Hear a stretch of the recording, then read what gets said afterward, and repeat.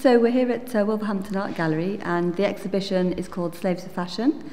It's uh, an exhibition that we've actually been working on for the last four years. So it's been a, a, a big slog really, hasn't it?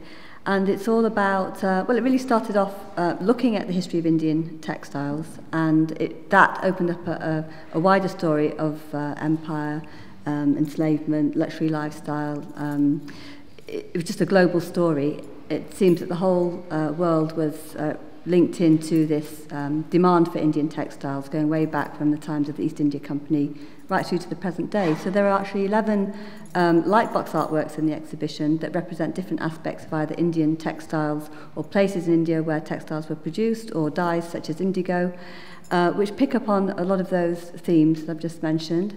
And then there are another nine contemporary response artworks to those historical um, perspectives, if you like, which actually give a contemporary relevance to things like how, do, how does enslavement um, continue in the world today? How does global trade continue in the world today? How does land, land grabbing continue in the world today? And also about the legacies of empire as well, mm. so the sort of displacement and migration and all those stories about multiculturalism and cross-cultural influences in the world.